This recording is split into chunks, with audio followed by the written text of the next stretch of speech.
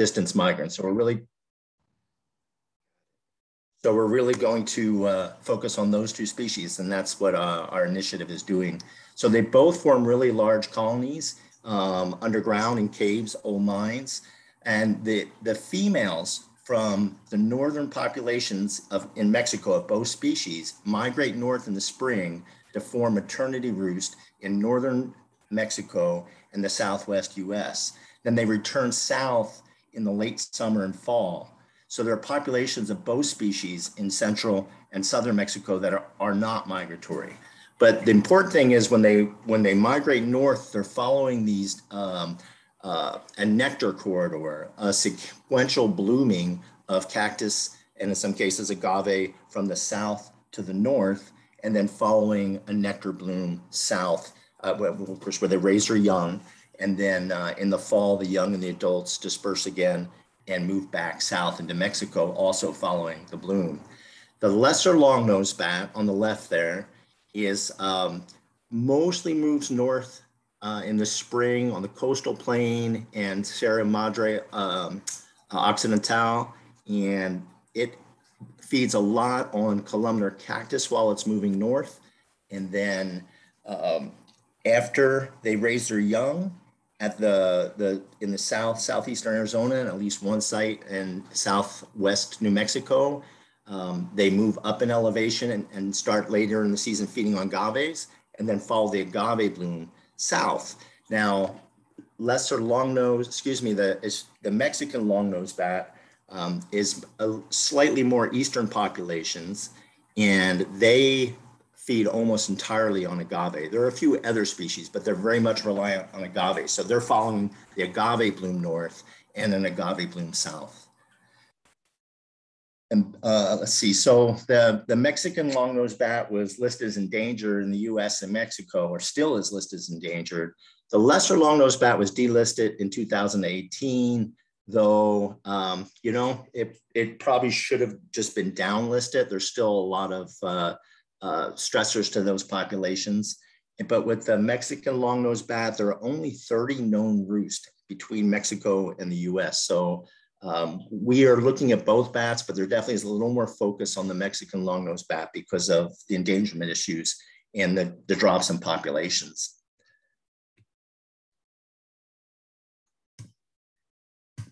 Okay, so the threats to these bats, they're really, it's the usual suspects.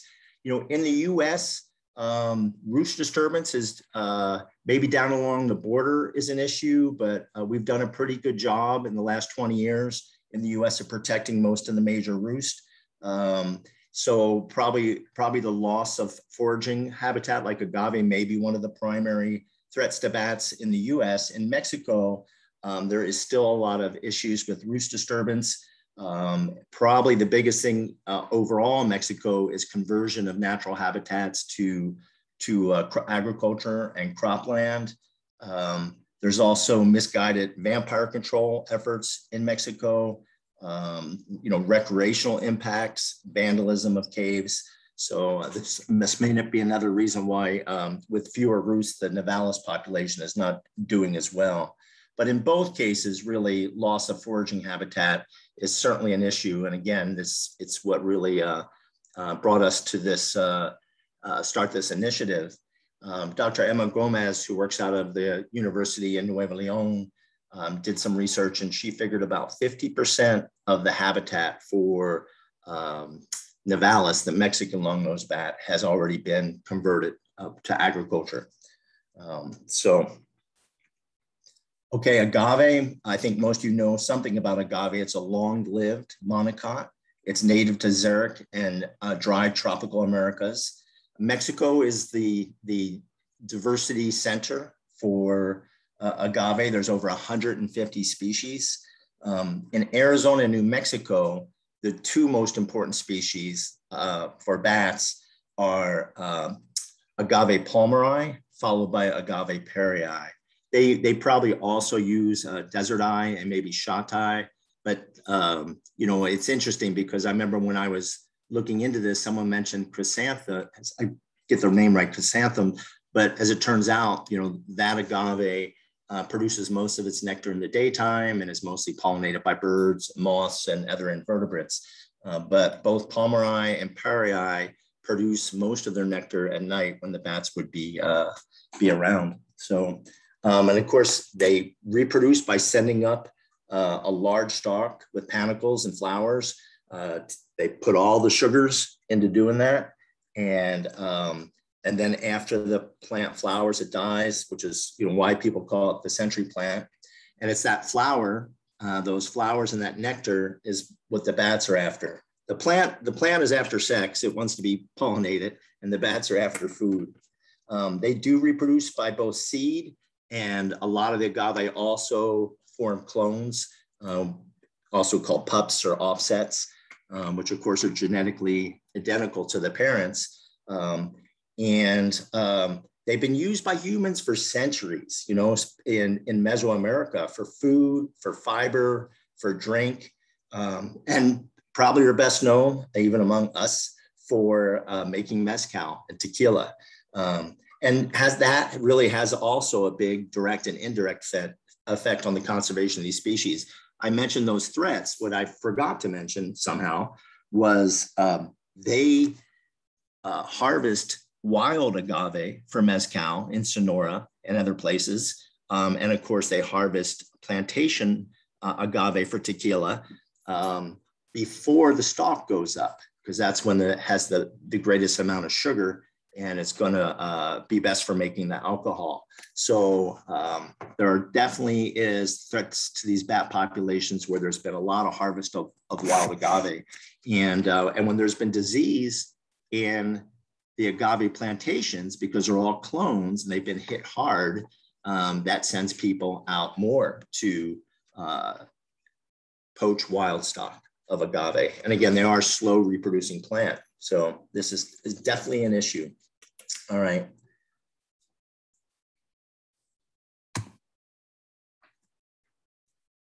Here's a, a just a quick, is that video showing okay?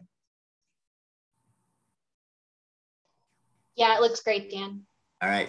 So you can see uh, another thing about uh, uh, chiropterophily among plants is that the agave flowers are held upright, which makes it, this is the, the, the mutualism between bats and, and plants that are pollinators. There's about 200 bats out of the 1400 species in the world that pollinate or eat fruit. Um, these are the only three in the US.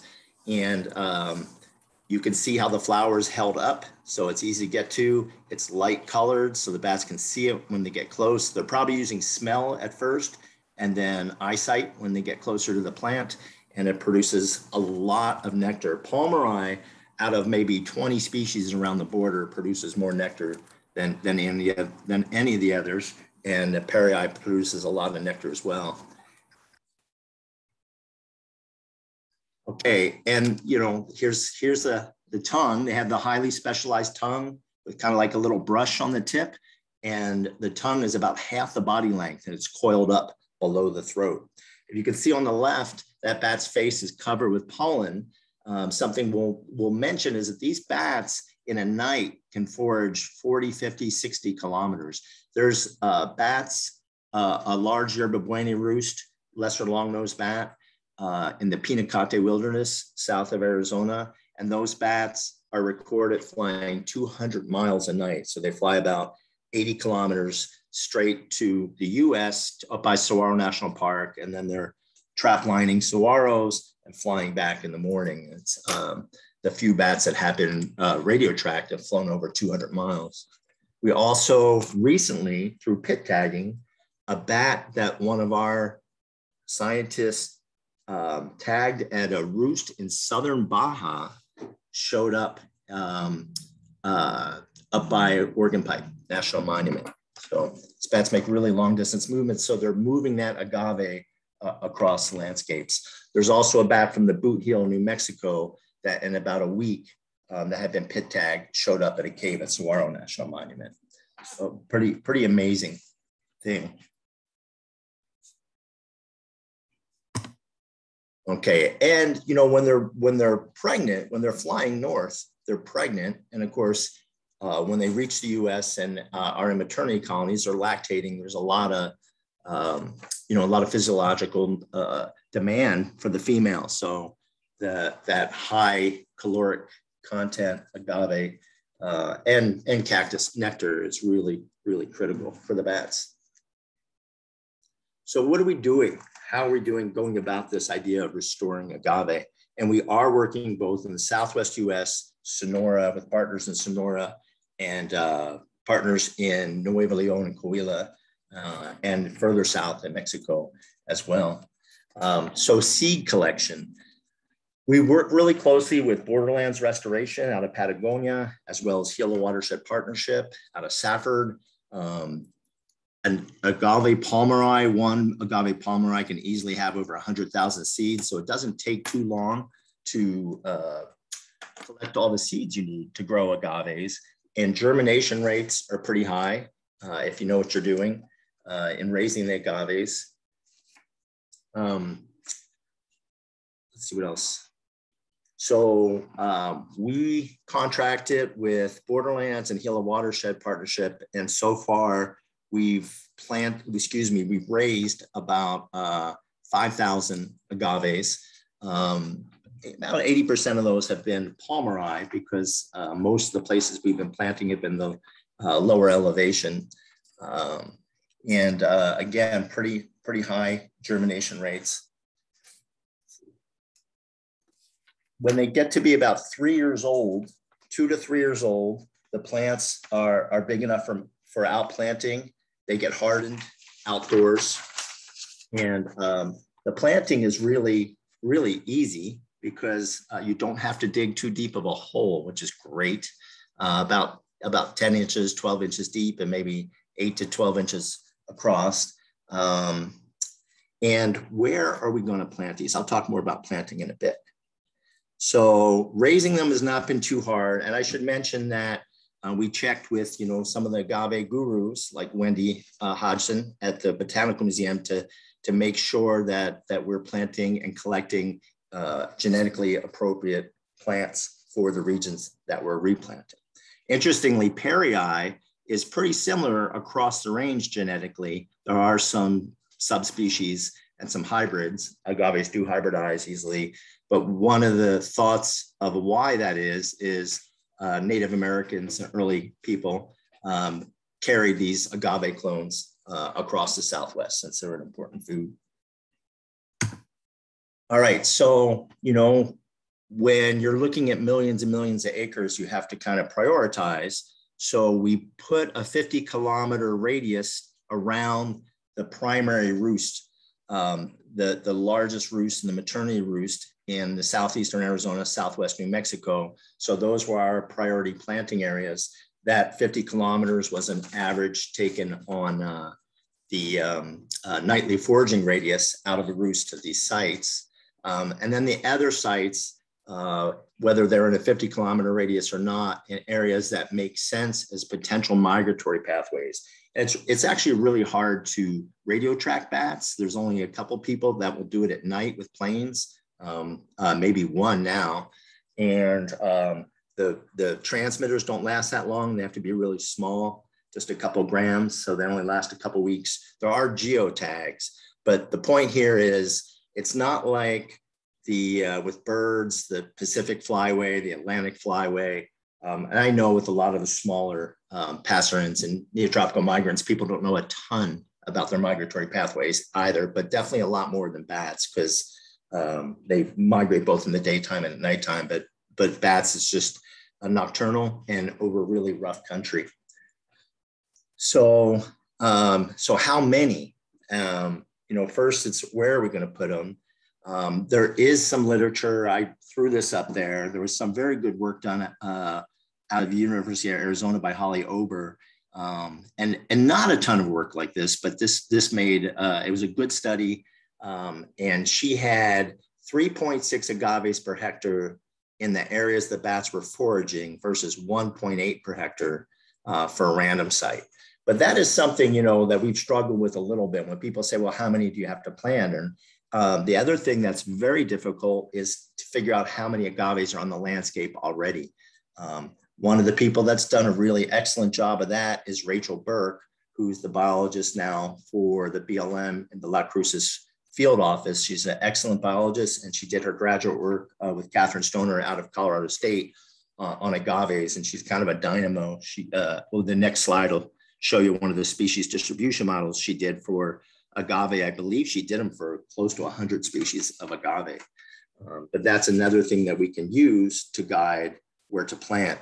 But honestly, you know, also it's a practical thing. Where will people let you plant? So we've planted with the Park Service, the BLM, uh, some with the Forest Service, and a lot of private lands because um, one is you want to focus on these these uh, uh, 50 kilometer buffers. Um, two, you know, you want it to be suitable habitat. Um, and three, where people will let you plant and where people will follow up and check on the plants, whether they need water or uh, so we can go back and monitor to see how they're doing. And, and someday, hopefully, to monitor how well they're being used by bats. And I say someday because I don't know if I mentioned it, but most agaves take seven to 25 years to flower. Uh, it's hard to get funding to study things long term. And this is definitely a long term project, but I think we're in it for the long haul. We're also trying to make sure that other people, um, where we plant agaves, uh, there's a lot of partners on this project. We'll continue to, to monitor these agaves. I, I just mentioned that species distribution model. Um, this is work uh, by um, uh, Rachel Burke and also uh, done by a couple other scientists too to look at potential nectar corridors, really based on um, density and species richness of agaves, and then trying to map the bat potential bat pathways onto that. So the planting for me has been like the most fun part. You know, it's pretty straightforward. Um, you know, we've planted with the National Park Service in the bottom left there. We're planting uh, with um, Freeport McMoRan at three of their sites in Arizona. Um, you know, picture the scouts planting with Borderlands Restoration on their wildlife corridor. Um, it's just a, you know, it, it, what's interesting is I really don't see a downside. This should help the bats and other pollinators, but agave is not like going to go wild and take over and push out other native plants. Uh, so I think this is what we need to do to help the bats, but I just don't see it being one of those things where um, you know, if people say, well, what happened? I don't see it having a downside at all. It'd be interesting to, to get feedback from other folks. Um, but, you know, they, they help obviously the bats, um, other invertebrate pollinators, they reduce erosion. Um, it's just a, it's a great project. So, and, you know, we've had a lot of really uh, fun uh, times planting God with people. I think there's a, a picture in here recently. Um, oh, this was just a, a, picture of industry. We've come up with these agave restoration site signs and uh, a banner we had with Freeport McMoRan. And uh, this was uh, a rescue operation when they were, so this is getting into the Grant County and Silver City. This was an, that expansion of the Chino mine.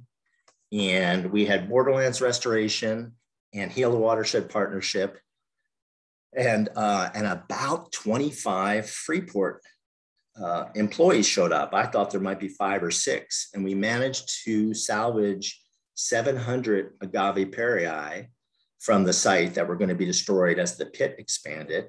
And we got those over to Borderlands, the Watershed Partnership, and Freeport themselves to replant those in other areas, uh, preferably areas that they would help uh, help out the bats. And uh, I, you know, Emily, I was going to throw in a picture of you guys planting out there. This is at, at Delia Shoals at the Shoals' Bio Research Ranch. Um, the Shoals were very foresighted. Uh, Delia, I know, is on the call. Her parents uh, got this property, I think, a long, quite a long time ago in the 70s. I can't imagine anybody else was doing this in the Southwest at that time and uh, preserve this land as a, as a research site and a conservation site. And this is up in the Peloncillos. And we plant it with the McGee's and the Lukes just a few miles north of here, private landowners. So altogether, I think there was a 150 planted at the Bio Research Ranch and uh, probably 150 total, maybe 200 total with the Lukes. Um, and again, this is the Peloncillo Mountains and north-south mountain chain that would uh, uh, definitely be a migratory pathway for the bats. I think all told now in the Southwest, in Arizona, New Mexico, we've planted about 4,000 agaves. Okay, now jumping over to, to Mexico. Um, so, you know, one thing is very different, as I mentioned. So you have the US where, uh, you know, we have pretty good environmental laws uh, relative to other countries, uh, some other countries. And, um, uh, you know, roost disturbance is not an issue. Uh, and agave, these, these two wild agaves are not used for uh, much in the way of non, just they're there as a, as a wild plant. So in Northeast Mexico, um, agaves again have been used for centuries for fiber, for making rope, for forage for cows, for making pulque, for making um, mezcal, bacanora, you know, both uh, alcoholic products. Um, there's, there's ceremonial use of agave, erosion. So our project in Northeast Mexico it is not agave is not used there, not as much. They're starting to for um, tequila or mezcal, um, but for these other uses. And this is also where the nursery, several nursery roost are caves of the endangered Mexican longnose bat. So there we're working with ejidos and it's really more of a land resilience, kind of a one health. So it's planting agaves, but also working on better grazing practices. Um, we are, and, and, and, a restoration economy. We've helped facilitate uh, the construction of several greenhouses. I believe there's close to 20,000 agaves growing now with these nine ejidos, um, restored 200 hectares of, of, land and, and counting. Uh, the slide says 9,000 agaves. I believe it's more by now. So it's been a really different thing. And we're working with um, uh, an organization called ASHAC down there. Uh, uh, can't remember the, the, acronym, I have it written down, but a great community-based conservation organization um, who also have uh, very good technology. They're uh, piloting some of the work to use drones to get a better idea of agave densities and distribution.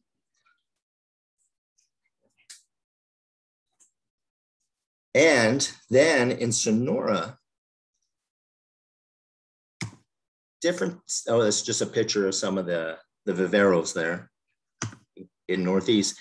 In Sonora, um, Bacanora is mezcal that is grown in Sonora. And uh, both mezcal, Bacanora, tequila as well, they're all denomination control, you know, like champagne. Um, you can't just grow, uh, make mezcal from agave anywhere. Um, so anyway, in Sonora, uh, and it was illegal. Bacanora is mezcal made in Sonora. It was illegal until about 20 years ago, 25 years ago, um, for whatever reason.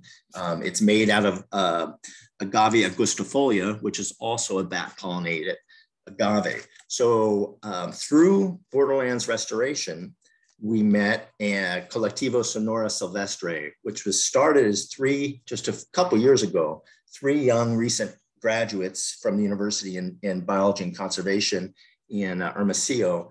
And man, these kids are just dynamos. Um, they recently got a $100,000 grant from the US to work with Bacanora growers, agave growers who are making Bacanora to uh, maintain hedgerows of plants that won't be harvested, that will go to seed, which then um, will help the genetics of the plant for genetic diversity and also help the bats because all the plants won't be harvested. But it's also part of a, a, a bigger effort with uh, organic agriculture, um, you know, pesticide, water conservation. But they're working with the government, and the government has agreed then to have a set of standards for the for the growers that have to meet these standards, and and they will have to leave hedgerows. Though most of them a lot of them have been uh, very much happy to, join that program.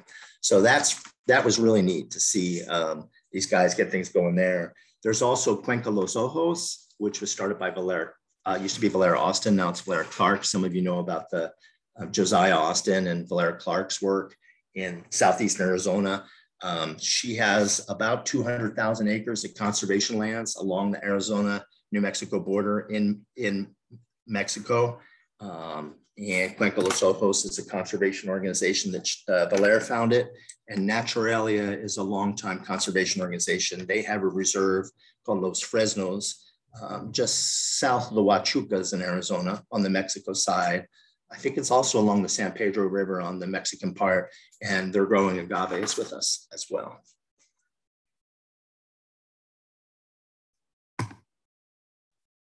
So how are we going to figure out if this is working? Um, there's a lot of different ways or how, you know, are agaves surviving. So I, will jump ahead in a minute and show us a, a, quick slide. You know, the first thing that the, the agave part is easy if you can stay on top of it, which is getting out there to monitor and, and looking at survival, uh, taking good notes, no, noting, you know, where you planted, elevation, soils, uh, moisture, and what kind of survivorship you're getting. Um, that's pretty straightforward. But making that tie in to the bats, and are you going to be able to show um, a, an effect of increasing agave numbers to increasing bat numbers or recovering the bat species? Well, at least in Arizona, and I think pretty soon New Mexico will do the same. Mallory can mention, you know, will will will tell us. But there is a uh, for the first time in a long while, there's been standardized counts at all the roost. Um, to get an idea how the populations are doing since these bats do move across the landscape. Um, and uh, so camera traps, I know something Mallory was looking at was acoustic monitoring with a small acoustic monitoring device that picks up the, the echolocation of the bats. Um, and uh, as we mentioned before, you know, drones um, for trying to survey agave. Um, but you know, it's it's still it's not going to be an easy thing. Now, one of the most exciting things though, whoops, well, before I get to that, we're eDNA. This is just a quick slide to show you about all this planting. Um, this is an older slide, probably about a year ago. And on the left are maybe one, two, three, four, five, six, seven, eight, nine, about 10 sites. Um, and how many agaves we planted at these sites. These are all Arizona um, and what their survivorship was. The treatment, it says wire or rock when we plant these, we always put a little rock mulch around the base of the plants. Um, that helps with condensation for water and it helps with keeping them warm as the rocks hold the moisture. This is something that was learned from, from the ancients, from uh, uh, Native Americans. And uh, um, if there's a lot of a javelina in the area, then we put down a, a some metal fencing, a flat skirt of, of uh, metal mesh around the base, also underneath the rocks to see if that will help uh, keep the javelinas off the plants. But the biggest issue has definitely been drought if they're not getting water. Um, remember, these are little plants. And, um, and then drought is compounded, you know, when there's nothing else for jackrabbits uh, or desert cottontails to eat, um, they're going to eat agave as well as cows. Um, so, but where we've had good soils, uh, good site conditions and they've gotten either manual water or had rain, we've had up to 90% survival.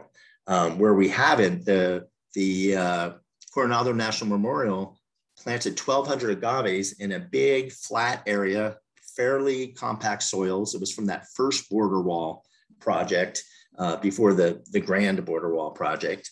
And uh, in a sea of Lehmann's love grass, and they were hammered by you know 25% survival 75% uh, mortality because of uh, javelina and uh, probably desiccation as well.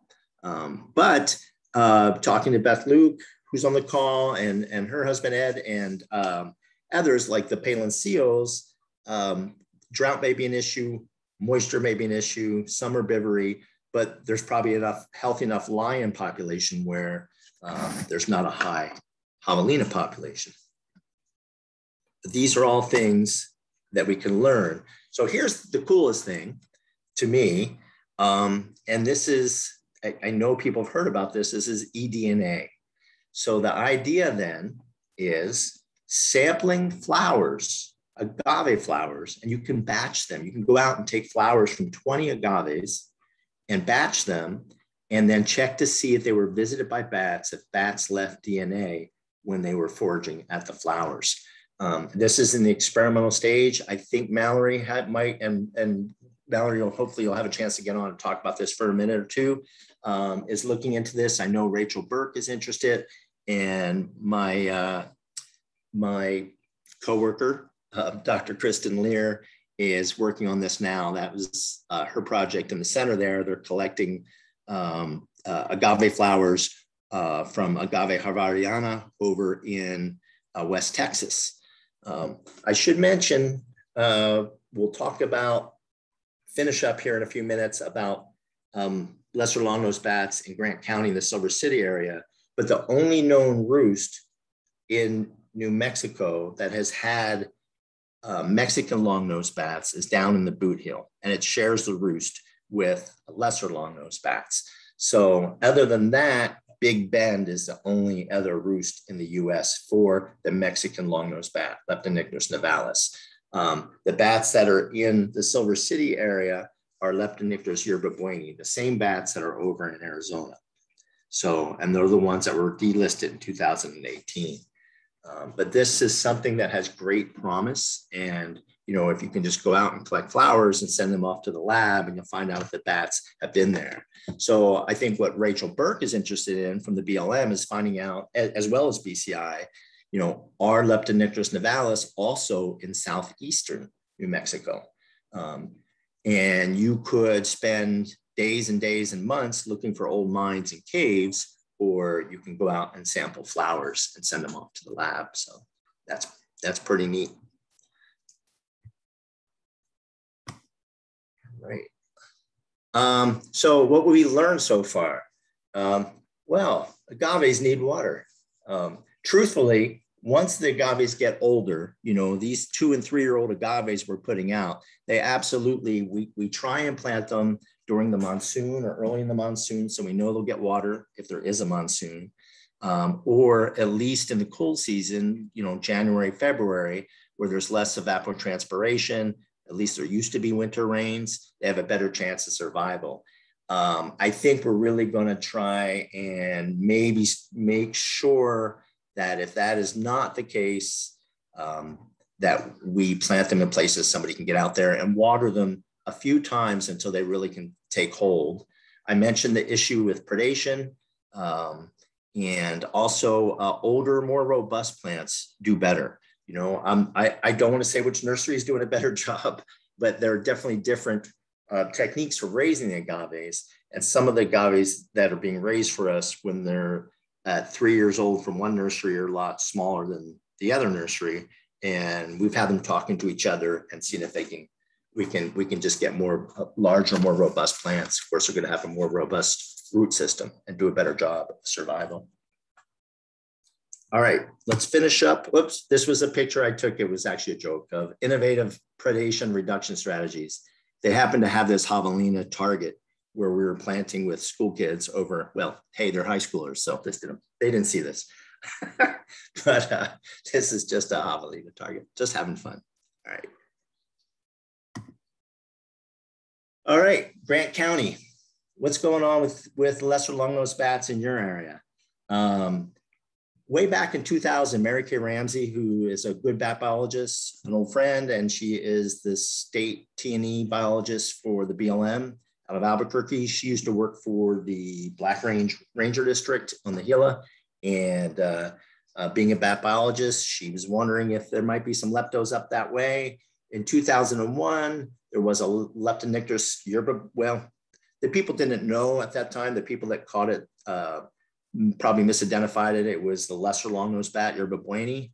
Um, so Mary Kay kept looking and talking to people. And then in 2011, um, people in White Signal reported bats draining their hummingbird feeders at nights. So, um, and then in 2013, Debbie Buecher, who is a good bat biologist, has been working on leptonycteris for many years out of, out of Tucson. Um, she was subcontracted by a, a, consulting firm that really didn't know a whole lot about bats, but got a contract to see what was going on with Leptonycteris in that area. And they radio tracked a bat over to the uh, a Leptonycteris adult female caught at a hummingbird feeder in white signal, and uh, they were able to radio track it to the west side of the Burros. Um, there were a lot of old mines. It was a really difficult area to reach. They did not find the roost, but um, more documentation. And all this time, there were a lot of reports from people in CPAR and White Signal about their uh, hummingbird feeders getting drained. Um, and then in 2019, Keith Geluso from the University of Nebraska, who is, uh, was a UNM graduate, has done lots and lots of bat work over the years in southern New Mexico. Um, he captured several uh, bats out of Gila uh, mist netting and uh, at feeders, and mostly males, excuse me, mostly adult females, and uh, a few juveniles as well. Um, and uh, he he really thought that these bats are probably they, they may be moving into the area from the south. I should mention that prior to 2000, these bats were not known north of I-10. So this is you know when they started finding bats up around uh, uh, Grant County, excuse me, up around Silver City, CPR White Signal, that was a, a pretty major range extension.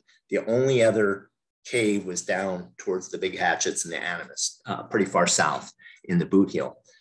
So um, there has been interest for a long time from New Mexico Game and Fish, Jim Stuart, and uh, fortunately, again, Rachel started working, uh, doing her graduate work in the Boot Heel, and then was hired by the BLM. And so now um, uh, we have her in the area. Mallory uh, Davies, who's on this call, has been working down in the Boot Heel on bats. Um, and then we have our initiative. So there's a lot of interest in finding out a little more of what's going on with these bats. Um, so I think I think there's an idea is to maybe start a citizen science program um, and get some hummingbird feeders monitored, um, also agave phenology. Um, and this was done, has been done for 10 years in the Tucson area. And they found some great information. When did the bats show up? When did they leave? Um, and they're able to uh, pair that with data from the National Phenology Network has a program called uh, Flowers for Bats, a science uh, citizen science project where people record when their saguaros or their agaves are starting to flower. Um, and there's a rubric to how to do that. So it's all standardized and that information gets uh, put into the databases and then crunched. So um, the idea is, could we start something like this in Grant County? and start getting a better idea of what's going on with these bats. And um, if that gets going, you will hear about it. Um, uh, the type of people that are on this car call would be the, exactly the type of people that probably would have an interest in doing this and would be great at doing this. So um, that's that's pretty that's pretty neat. Um, so uh, along that line, and this was something Rachel mentioned that I hadn't thought of. We have right now, I just checked, we have a 100 agave parryi that are old enough to outplant, uh, not too far away in Safford, Arizona. And I will offer those uh, free to people that might have a good place. You can, uh, my email's at the end, or you can contact me through through Megan or um, uh, Emily, uh, whatever's easiest. Uh, and you know, putting five here, five there, it's it's it's not a bad thing to do, but we really would like to, you know, have a uh, bigger patches. And when I mentioned that, I, one thing I forgot to mention about planting is um, our priority is definitely enhancing places where there are already agave, some agave, uh, because uh, the bats are already in that area. If you're going to go to kind of a new area without a lot of agave, you probably want to plant a really big patch, you know, a couple hundred agave or more over a few acres because you know these bats they expend a lot of energy while they're foraging so this optimal foraging theory you if you're going to spend all that energy foraging you've got to get to a big patch it's got to be worth it you know um, to make it worth your while so but we do have those palmeri will have more in excuse me the parryi um, which are slightly higher, higher elevation and probably one of the agaves that the bats in Grant County are feeding on. Um, and you know we will have more as well in the future. Um, the Lukes are on the call, uh, and we mentioned the Bio Research Ranch. You know we've planted 75, 100, 150 agaves at these sites. There were agaves there already, Um, and now we're creating these really nice, super rich, basically thinking of them as prey, you know, prey for the bats, prey patches or agave patches, nectar patches for these bats. So that's something that would be uh, available. And again, a lot of people have been involved. I mentioned Borderlands and Gila Watershed Partnership. We've planted a bunch with the Mission Garden. Um, I think I mentioned most of these other people. Pima County has been involved. New Mexico State Land. So we planted 300 agaves, I believe, total in the Boot Heel, which is not very much, but as you know, it's mostly private land there, or like the Animas um, and uh, or BLM. The BLM has been hesitant to plant agaves. I won't. I won't go there. I mean, if if uh, now that Rachel's there, we might be able to get that changed.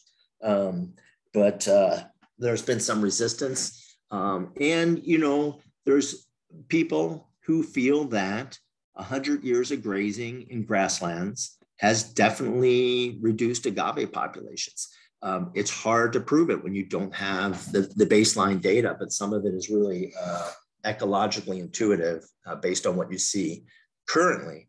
So hopefully we'll, we'll be able to plant more, but where we plant it in the Boot Heel so far was the New Mexico State Lands Department um, and uh, these other folks. So that's it. I think we have at least 10 minutes for questions. I can stay late if we need to. Um, and actually, Mallory, are you willing to to uh, jump on for a second and talk about what you're doing? Five minutes. Hey, yeah, can you hear me? Yeah.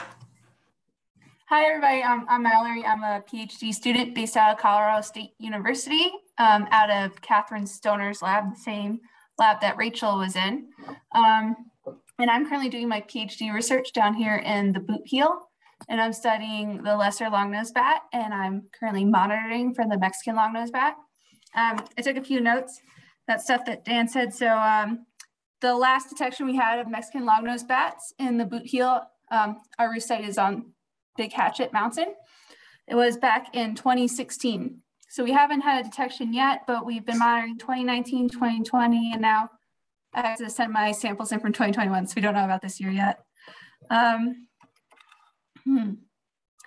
uh, so my research is focusing on the trying to build a classifier to be able to use remote sensing images to determine where agave is across the landscape and when it's flowering. So we can easily map out flowering agave across landscape.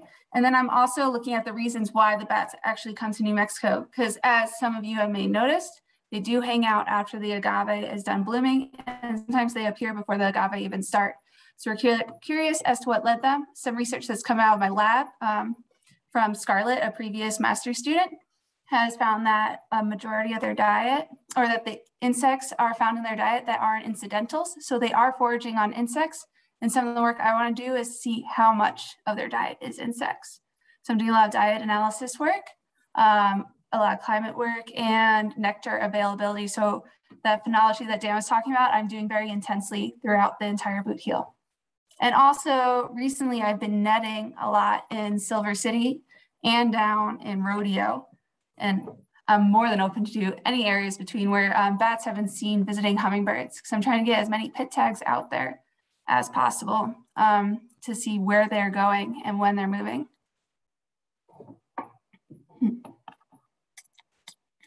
Oh, and also I've been doing some of the eDNA work with Rachel. Um, I'm just mostly assisting her where we're helping Kristen Lear out of Faith Walker's lab at um, the university in Tucson. And uh, we are, for all the hummingbird feeders that I net at in Silver City, we do swabs the next morning to see if we could test that for eDNA to see the difference between Mexican long-nosed bat, Mexican long-tongued bat, and um, the lesser long-nosed bat. And if we could just figure out, discern the difference between two of the species, then we can use it as a monitoring technique throughout New Mexico to see if Mexican long-nosed bat is foraging out here. Yeah, you mentioned uh, Mexican long-tongued bat, and early on in the presentation, I mentioned to folks that you know this is another, the third uh, purported migratory uh, nectar feeding bat and um, similar to these other two. They're all, all three are a northern extent of a South American family, the Phyllostomatids. But um, because they are in relatively small scattered colonies across the landscape in pretty rough country, um, you know, except for climate change when we don't know what's going on, they seem to be doing okay. And did you say uh, Faith is at uh, NAU, the genetics work? Oh, I think you said you were sorry. No, no, it's no problem. Hey, it's my it's my one of my alma mater. So. oh, nice. Oh, also, I can throw my email in the chat. Um, and if anybody has long-nosed bats or suspect that bats are draining their hummingbird feeders in the middle of the night, I'm here for another week and a half, and I would love to come out and net at your hummingbird feeders. That's what I was going to suggest. I was going to say if you could get your information on up there, because I see a lot of people uh, telling their story about their hummingbird feeders, and uh, it's happening a lot here in Grant County. Um, and if you could just give us a little, um, a brief synopsis of what you do with the bats when you catch them, how you catch them, and and sort of how COVID has played into bat research these days, because that's an interesting part of it. Um, that would be great. So I'll cover the COVID first stuff, um, or COVID stuff first. Sorry. Uh, so we have to we have really strict COVID protocols, and um, for the state of New Mexico, I'm the only non-white so we have a group saying white nose syndrome and we have a group saying COVID, but I'm the only non-disease bat ecologist who's allowed to actually currently net for bats and handle them. That's because of concerns for spillback or um, transfer of COVID from an infected person into the bat communities. And since bats in North America are suffering so much from white nose syndrome and from death by wind turbines for our migratory species, um, that we thought introduction of COVID into the bat populations would just be absolutely devastating. So we take it very seriously. Um, we never net if we have a fever, which is good. Um, we wear N95 masks and a face shield. And we have to change gloves between each bat and everyone that I work with has to be vaccinated. Um, so I would love to know that somebody's house with COVID. Um, if you aren't vaccinated, we would just have to keep a distance between us so that you weren't breathing on the bats and there wasn't risk of spillback. And I also always bring extra N95s to lend if people want to get up close and personal with the bats. Um, they make really little ones for the bats. I was just kidding. That was a joke. that would be pretty silly. um, and then, so when I'm netting, what I'll do, what I normally do is I set up a net right before sunset and I wait till it's actually pretty dark outside to open the nets. And I do that right around your hummingbird feeder, or I can bring my own. Um, and then I set up a processing station away from the net. And what I get to do is when we catch a bat, hopefully we would, I will take the bat out of the net. Um, I wear gloves and I'm very gentle. And the, the long-nosed bats are pretty cute because they just kind of hit the net and they just hang there. So they're pretty easy to get out of the net. They don't really struggle at all. They don't seem very stressed out by it. Um, and then we take body measurements, um, like their weight, we figure out what their gender is or sex. I mean, and um, what, and we age them based off of a joint in their bone and how fused it is. Um, and then I insert pit tags, which seems rather invasive, and it is, it is an invasive technique, but the bats seem to not mind it at all. And the moment they're like, it's kind of like piercing an ear. And the moment they don't like it, but they get over it really fast and then I feed them sugar water and they're all really nice and calm. It's very similar to how you would um, put one of those RFID tags in your cat or dog so that the vet can scan them if they end up getting loose. And then after we hold them for a bit to make sure that their wound is healed where we put the pit tag in, uh, we release them back to the wild or just let them fly away. Hmm. Did that cover it pretty well, Emily? I think that was a great synopsis. Yeah. Cause I, I think a lot of people don't know what pit tags are. Um, so I think making the pet comparison is, is uh, registers with a lot of people. So yeah, but that was wonderful. And go ahead before you forget to put your um, email over there if you didn't already. Do you, oh, do I yeah, I started typing it. and then Dan, I know you had your email address on a slide, but if you could also put it in the chat, um, just to make sure just that did. everybody got it. Okay, yeah, great. I just did. Okay. I think I can't see the whole chat, but um, we'll go ahead and take questions. I'll start with some of the ones that are that are in the chat. Um, and if anybody else wants to sort of just visually raise their hand on their screen or use the hand raise button, um, we can do some just questions verbally too. Um, so I did see um, a question that was sort of asking if this area in Pinos Altos and sort of um, this higher elevation area, if is it good for both um, Palmer's agave and Parry's agave? What would you suggest, Dan? Oh, could you repeat that? I was reading. I'm sorry, and I see that Oh, somebody had. No, it's interesting. I see somebody had bats at 6,500 feet at Pinos Altos, so that was Right. It's, Yeah, it's sort of right. along those lines. It's um, Yeah. saying is is Silver City area appropriate for both Parry's agave and Palmer's agave, or would one do better here than others? Uh, cultivate. Palmeri is probably better in the grassland and lower foothills of the mountains. Um, and Parry starts to come in kind of where the PJ or the the the the the P, the piñon comes in. So uh, Parry is definitely harder, hardier, and uh, so you know it does better in cold weather. And so I'd say like four thousand feet and above, maybe four to five over there. Then you can get away with Parry. Rachel uh, thought that both would do okay. Okay, great. Um, I see Betty Spence ask, uh, what do they eat when agave aren't blooming? And uh, Mallory touched on that with some of, they do eat some insects. Um, but what other plants? And I'll, I'll tack onto that question because I know the saguaros had an incredible year um, Yeah. in around Tucson.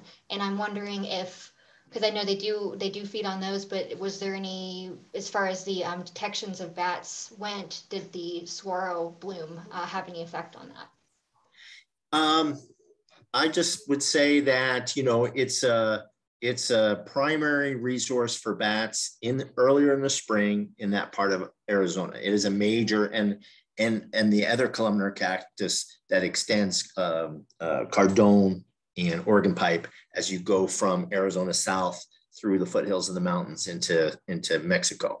Um, that that cactus bloom is very important in the spring for those bats. And um, interestingly, uh, Scott Richardson, who's U.S. Fish and Wildlife Service out of Tucson, who was uh, you know the, the person responsible for Fish and Wildlife Service for uh, Yerba Buena, he said there were years where saguaro bloom failed and the bats were still there and feeding. So he thought maybe they were must have been feeding on desert eye uh, agave.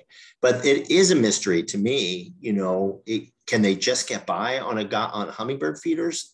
You know, up in that that area, Grant County, late in September, October. There are bats being found up there late in September, early October, when it, there really are very, very few agaves blooming. One of the other things that can be done, of course, is collecting the pollen from the bats that are caught and getting the, the, the pollen identified. Um, in Mexico, there are other plants. There's a morning glory family that's in a tree form that is very important for, for, for these bats. But, uh, but that's not something here, you know. Um, but they, they constantly surprise us. So it would be very interesting to find out if there's anything else. And I don't know how many insects, you know, does it take, right, to equal kilocalories of, of uh, nectar. So that's some of the things that people I think will be working on. Mallory, do you want to add anything to that? Um, I recently netted at a bat physiologist's house just last week, Hmm. and that is something that we will be working on next season. He's going to bring um, the machine down from Wyoming so we could put the bats in it and measure their breath. So that'll be really exciting. Very cool. Um, I do see some people talking about how they would like to um, get some of the plants that Dan mentioned that are available, the agave, um, the young agaves. So just remember that his email address, which is in the chat, um, is the one to uh, contact if you're interested in doing that.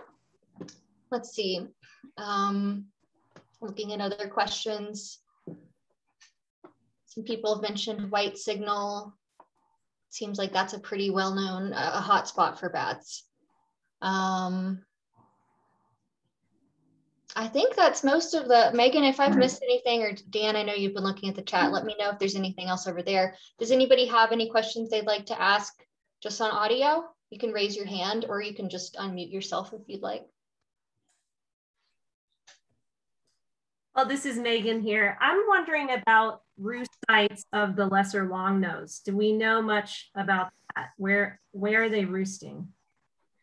Yeah, probably. Um, you know, there's a lot of hard rock mines in the Burros that are hard to get to. A lot of old mining districts up in the Burros, so and and in areas in the Gila.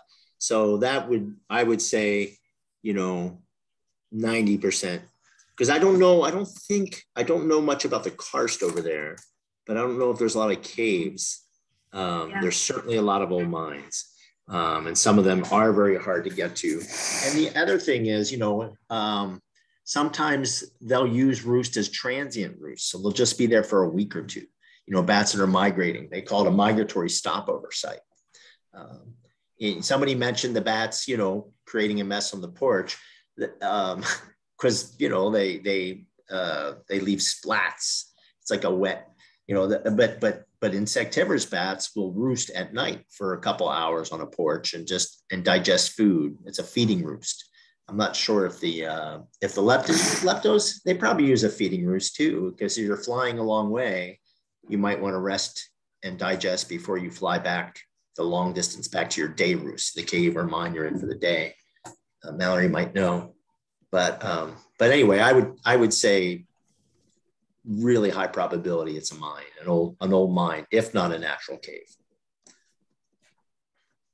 Um, Mallory, I thought of a question. Um, can you, because you told me recently the difference between the the guano of insectivorous bats versus nectivorous bats, and it was I my mind was blown. I had no idea. So if you want to let us know. Uh, yeah, that's a great point. So um, sometimes if your hummingbird feeder is getting drained in the middle of the night, it might just be a ringtail. Um, so I've had a lot of people send me pictures and then eventually they'll find a ringtail footprint somewhere nearby. Ah. Um, so to know that it's a bat, if you're living out of range, and it might be really exciting research, is you look for a splat, is what we call it. And it looks a lot like bird poop, but it's yellow. That's because they're feeding on the nectar of agave. And so their, their poop is rather watery since they're on a liquid diet. Um, and Sometimes later in the season, it'll start to turn a little bit black, but it'll always have that yellow sheen around it as long as there's agave still flowering. Where insectivorous bats, they tend to have pellets as their guano, and it looks more like rodent dung. Great, thank you. And I see that um, Ron had a question, which you you ch uh, chimed in on in the chat, but he was asking if the insects that bats feed on are mostly moths. Ronald is a bat expert. He's one of our local bat experts. So I'm sorry, moth expert.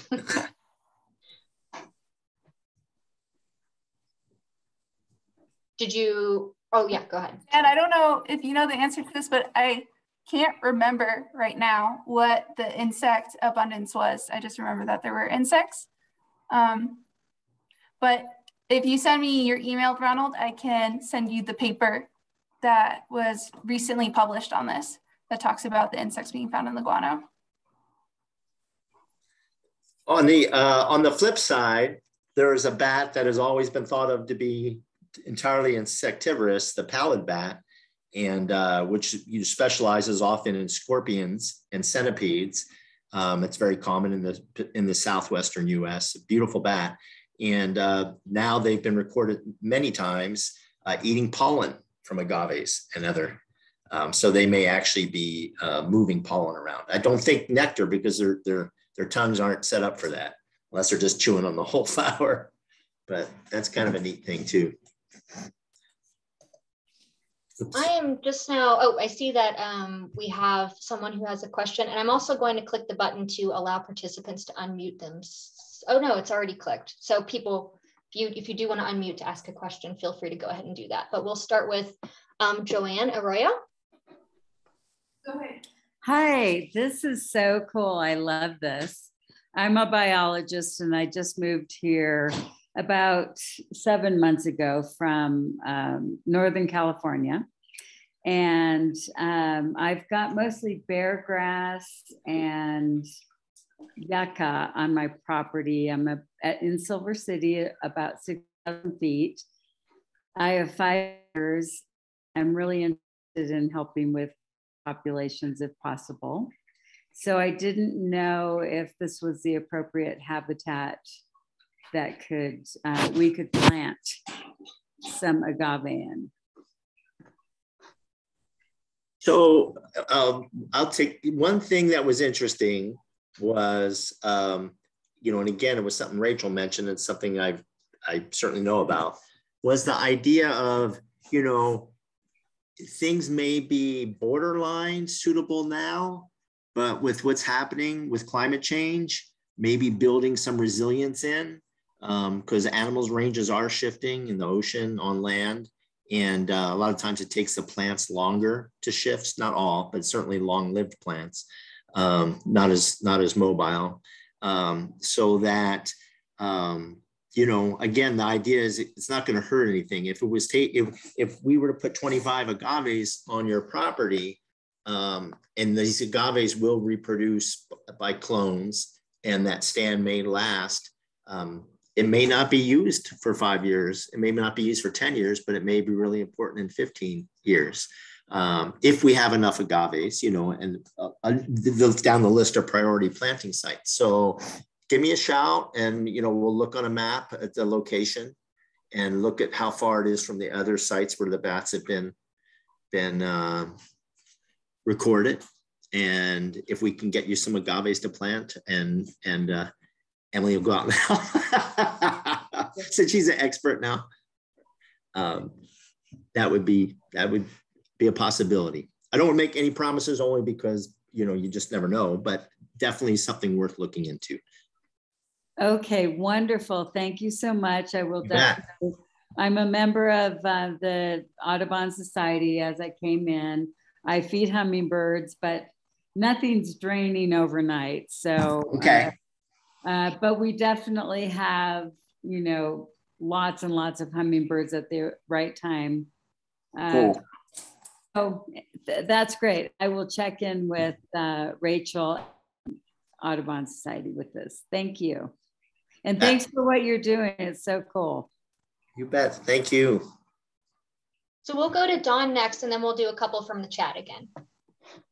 Okay, thank you. Um, I was just thinking another great collaborative project. If you have agaves that need to be planted, I think the Southwest New Mexico Audubon Society, Gila Native Plant Society could maybe work together as a conduit to, to get those agaves, to distribute those agaves, and to train folks on how to plant correctly those agaves. And it would be a great project for school kids, for you know, for families, and um, I think both of our groups could really get into that. So Great. that's what I'm we're, that's we're, what I'm thinking about. We're on. You know, we've done it with Tucson Audubon Society, uh, Jonathan over there, and, and it's been great. They've done a good job. So yeah, I think that sounds great. Let's stay in touch on that. Will do. For sure. So we've got just two more questions and we'll sort of um, try to wrap up at, at 7.15. Um, and then if anybody wants to, you know, stay on for after party, you can. Um, yeah. Burning question. Well, I guess I committed Dan to that now. yeah, it's um, Friday. It's eight. It's eight o'clock where I am. maybe Dan wants to go. So let's beer. not commit to that. But uh, Russ Kleineman, who, well, I believe it's Russ Kleineman, he asked, um, he's wondering if anybody's co-monitoring the presence of great horned owls, which predate bats. Yeah, so great horns will definitely, you know, um, great horns, Mexican spotted owls will eat bats for sure, um, and and barn owls because barn owls often um, nest in in uh, caves and mines, and uh, but they almost always seem to need to get them at coming out of a roost, especially if the roost has a small entrance, because you know the bats are good flyers; they're probably more maneuverable than those raptors. Um, you know, I know for sure of situations where barn owls moved into a very large leptonycteris roost, uh, like, you know, 50,000 leptonycteris in a very narrow mine at it. You know, the, the bats were all the way in the back where it opened up and the barn owls, you know, the bats were abandoning the site. Um, I think uh, the state agency went in and and made sure the eggs had an accident. I won't say which state agency, but um, anyway, the uh, uh, and then there's a nice video um, that was taken in the Huachucas of a Mexican spotted owl grabbing bats, um, Leptonycteris longnose bats, coming out of a, a fairly small cave entrance. Um, so yeah, they'll they'll. Um, I think they're a deterrent too. You know, in other words, if there's a mine or a cave and a and a, and a um, they are territorial, to owls, you know, and if they're hanging out near that entrance, the, the bats may not just not use that habitat. Ringtails as well are a predator, raccoons are a predator. And in the winter, uh, the bats that do hibernate, you know, they're shut down. So they're looking for sites where they feel more protected. You know, at maternity sites and warm sites, bats are active and they can at least flee, get out. But if you're if you're in torpor, you're shut down. You're an easy mark. So bats often will use a more difficult to access uh, microclimate, a cave or mine, when they're in torpor. Okay, the next question um, was actually maybe something Don could answer, um, which is just we have this wonderful Silver Creek Botanical Garden in Silver City. It's all native plants, and somebody asked if we've ever thought about maintaining feeders there. Hi, yes, I just, uh, Alan asked that question and I just, I just uh, chatted with him personally. Um, you know, we have hundreds of species of native plants and including two species of agave and um, flowering plants. That is the best thing we can do for bats and other pollinators. So we have no um, plans of, of feeders. That would be, I think, a nightmare for us. but we could add more agaves. It's a good idea, Wendy. um, okay, that's it for questions. I do see a couple people from from Pinos Altos have talked about having their their feeders drained, so that's definitely worth keeping an eye out for, even at that high elevation. But um, both Mallory and Dan, can you please both say your email addresses for anybody who's not familiar with using the chat? You bet, and it's easy. It's it's just D Taylor, D T A Y L O R at batcon, B-A-T-C-O-N dot org. So uh, bat conservation, not bat conservation, but batcon dot org. And um, my email is Mallory, M-A-L-L-O-R-Y dot Davies, D-A-V-I-E-S at colostate.edu. Um, and then I wanted to like bring up one thing about hummingbird feeders because we've talked a lot about how the bats use that for food. Um, we've noticed that in Tucson, that the bats will stick around longer than they should drinking from the hummingbird feeders, and they kind of turn into what I like, what I think of as town deer. So you know when you see deer in town and they're eating garbage, so there's no nutritional value, so they look really scraggly and not not very healthy. So our bats start to do that as well, the long-nosed bats. Um, the sugar water and the nectar feeders doesn't have proper amino acids that they would get from the pollen and agave. So the bats stay out too long, it gets too cold for them, and they tend to not migrate south as soon as they could, and they might put themselves in a predicament where they no longer can migrate south because they lose the nectar corridor. We haven't been able to prove that's happening yet, but we have caught um, bats with really poor body condition in the winter time in Tucson. So if you have hummingbird feeders out, you notice the bats are drinking from it, it might be wise to slowly decrease the amount of nectar you leave out each night to, to encourage them to head south with the rest of their buddies. I think that is excellent final advice for tonight. Um, I do have something to say about that. I did a hummingbird study for 10 years in Tucson. So we had hummingbird feeders up for 10 years continuously in the season. And we, naturally, we didn't want the bats draining them at night, and they did. And what a very, very simple way we found to keep the bats out of your traps is to take simply um, concrete reinforcing wire, which is that six inch square wire, you know, that you can buy and roll anywhere, and just surround your feeder with it. And the bats, incredibly, even though those holes are six inches big, apparently it messes with their echolocation and they cannot get to the feeder. So that worked for us for 10 years using those cages to keep the bats away from the feeders. That's Just really cool. I wonder if it's because um so I've done like a lot of slow-mo recording of the bats of the hummingbird feeders and they kind of knock into it and then they lick the um, nectar off the sides of the feeder. That's why they make such a mess because um the holes aren't actually big enough for them to get their tongues in there. Right, have, exactly. Yeah. If you have oriole feeders, they can get their tongues in, but hummingbird feeders, they can't. So I'm curious if like that barrier stopped them from being able to lap up the um, nectar as easily or like hit their tongue and they didn't like it or something. Well, they didn't actually appear to, because we could notice when they hit the feeders, which they did constantly, they didn't appear to go through the wires. They didn't Oh. actually get to the feeders. We we couldn't we didn't ever do a study of why because we were just happy that it worked. But the feeder was about, I mean, the wire cage around a regular size feeder was about um, 18 inches in diameter, and it just hung around the feeder. So it doesn't didn't have to be. That's just the size that we first started with, and it worked. So um, if anyone wants to keep bats away from their feeders, that's the thing to use because it worked for us. Very cool. Bring in your. Can food. I, can I bring up something else that if you're a hunter and your um, hummingbird feeders are being drained at night, maybe just bring the feeders in at night and then put them out in the morning. Well, in our case, of course, we had remote feeders, you know, out in Sabino Canyon, and you can't bring them in at night. We had sites all over the Southwest.